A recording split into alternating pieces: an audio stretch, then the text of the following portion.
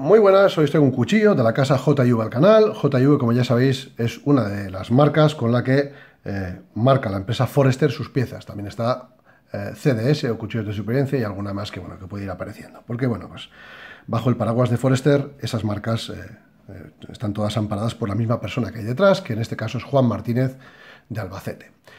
Es una empresa que se dedica sobre todo pues, a hacer eh, cuchillos sencillos e incluso algunos de ellos son copias o inspiraciones de piezas de eh, más renombre, como puede ser el Tracker de Tom Brown, algunas piezas de Buse, algunas piezas de Estemarrati. Bueno, pues sí que es cierto que se inspiran algunas de ellas y eh, hace sus propias versiones, diríamos. Suelen ser cuchillos sencillos, con materiales bastante sencillos y también eh, fabrica piezas para otras empresas e incluso algunas tiendas, eh, por ejemplo, de Europa, para hacerle algunos diseños pues, que tienen, tienen entre ellos.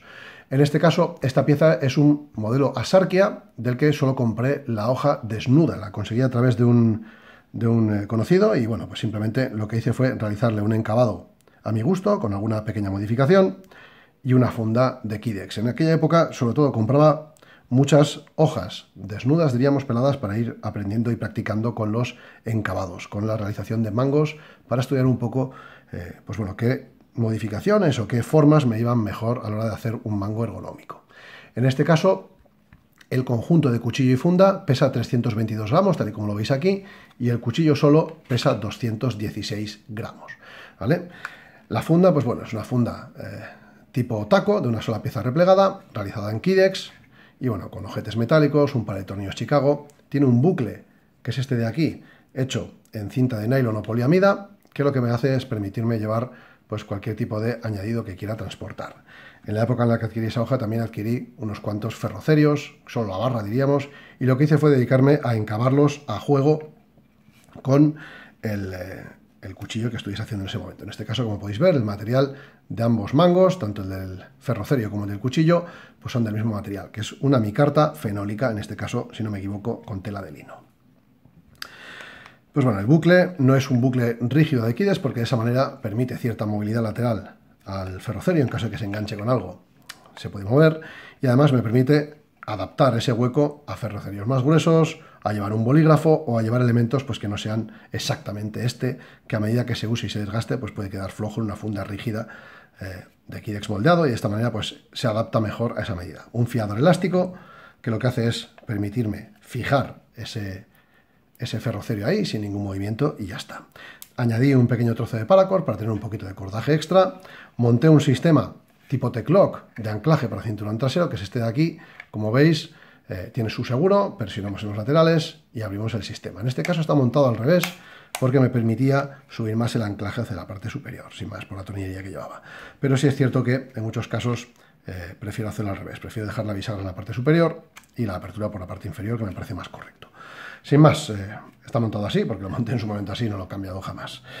La retención del cuchillo se hace mediante la presión en el mango, y bueno, tiene un poquito de juego, a ver si lo puedo enseñar, mínimo, pero que está ahí presente, que no me gusta. Lateralmente no, no tanto, y frontalmente tiene un poco de juego.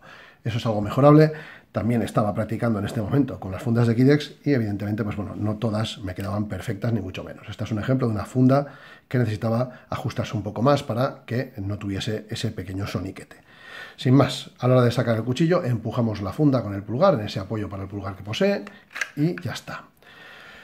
En cuanto a las medidas del cuchillo, 21,9 centímetros totales, de los cuales 11,9 son de mango y 10 centímetros son de hoja. De esos 10 centímetros de hoja, 10,2 centímetros son de filo útil. Y de los 11,9 de mango, que veis aquí que es bastante largo, en realidad la parte útil es este hueco de aquí. Aquí se ensancha y ya me queda un poco el dedo perdido, diríamos.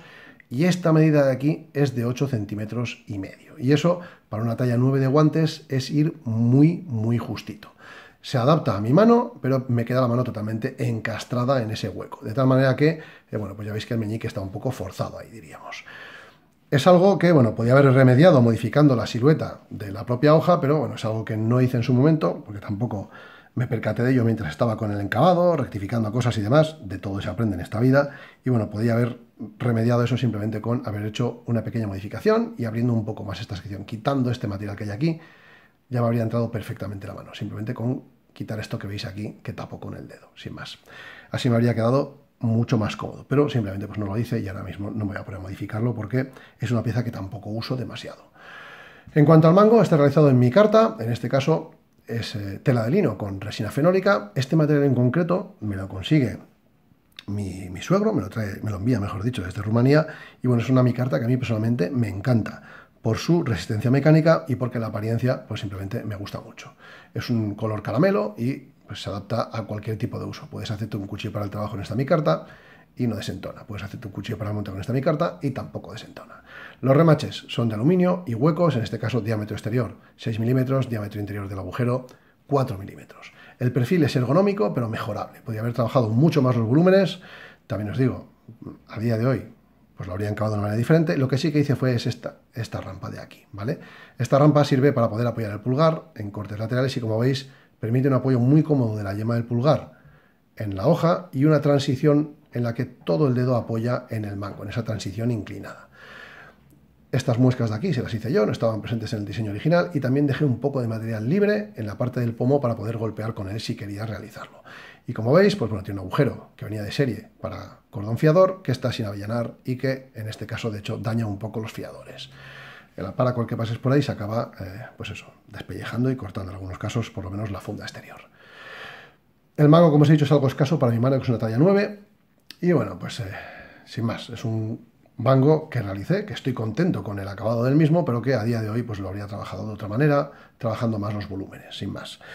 En cuanto a la hoja, es una hoja tipo drop point, ancha, robusta, en acero 420 MOVA, también llamado 5CR15 o MOVA 58. Y aquí es donde viene mi mayor pero con este cuchillo, y es que este cuchillo, la línea o versión comercial, porque esta ya os he dicho que solo es la hoja encabada por mí y con la funda hecha por mí, cuesta entre 70 y 80 euros. Y por 70-80 euros yo me espero un cuchillo con una hoja de un acero mejor que el 420 MOVA o MOVA 58 o 5CR15. Me da igual cómo lo llamen. ¿Es un mal acero? No es un mal acero para cuchillería, pero es un acero para cuchillería económico y debe ir montado en piezas pues muy económicas, ni más ni menos. Es un acero inoxidable, barato, fácil de afilar y de reafilar, con una retención de filo un poco justita, un contenido de carbono entre un 0,45 y un 0,55 de, de, carbono y luego un contenido de cromo de entre un 14 y un 15%. La dureza que declara el fabricante para esta hoja está entre los 56 y los 58 HRC, que está más cerca de los 56 que de los 58. El vaciado original era un vaciado plano desde el lomo con un microbisel. Y lo cierto es que en la zona del microbisel había demasiado material y era un cuchillo que pese a estar vaciado hasta el lomo no cortaba muy bien. Así que lo que hice fue modificarlo customizarlo con un final convexo acero sin ningún tipo de microbisel, que podéis ver ahí. El acabado es similar al original, en este caso un acabado satinado corto. Y bueno, tiene estas muescas o esto segrinado grueso en la parte del lomo para poder apoyar el dedo en caso de que necesitamos apoyarlo y trabajar teniendo más control de la hoja y dándole un mayor empuje. Como veis es bastante grueso, 4,8 milímetros de grosor, una pieza contundente. Y con 4,8 milímetros de grosor aunque hagas el vaciado desde el lomo, te hace falta mucha pala, mucho ancho de pala para desarrollarlo. en este caso tiene 3 centímetros y medio de ancho de pala para poder desarrollar ese vaciado. Y aún así había quedado grueso en la pieza original. Para que os hagáis una idea, en este caso customizada con un vaciado convexo acero, sigue siendo un filo bastante robusto, pero en este caso ya es un mejor cortador que el vaciado plano con microbisel de origen. Podría haber sido también un buen eh, cortador con ese mismo vaciado plano si lo hubiesen eh, digamos que, trabajado más y hubiesen hecho un vaciado más progresivo y hubiesen acabado en un borde más fino, pero no es así. Es un cuchillo que en principio se diseñó para caza, en este caso me parece acertada la forma tipo drop point, con una punta no demasiado agresiva te permite coger la hoja de esta manera y poder hacer trabajos a la hora de desollar una pieza bastante cómodos con un corte muy preciso. Dejamos eh, un poco al lado, diríamos, el, el, mango, cogemos este movimiento de pinza y de esa manera, incluso adelantando más la mano, tenemos mucho control sobre la hoja. Es un cuchillo que, para manos que sean, en cuanto a la anchura, pequeñas, puede ir bien. Y ojo con los encabados de JV porque suelen ser un poco como este, que para mi gusto es un poco demasiado grueso y con poco trabajo de volúmenes. Si echáis un vistazo al modelo eh, comercial, diríamos al que es este mismo cuchillo, pero el que se comercializa por 70-80 euros, vais a ver que hay algunas diferencias en cuanto al encabado y obviamente hay muchas en cuanto a la funda. Pero es un cuchillo que para manos pequeñas, que quieran un cuchillo contundente, puede ser una opción siempre y cuando lo consigáis a buen precio. Y digo esto porque por un cuchillo con este acero en la hoja, 70, 80 euros, es un precio simplemente excesivo. Sin más, espero que os haya gustado, que os haya resultado de interés este, este cuchillo, esta pieza. Y sin más, un saludo y hasta el próximo vídeo.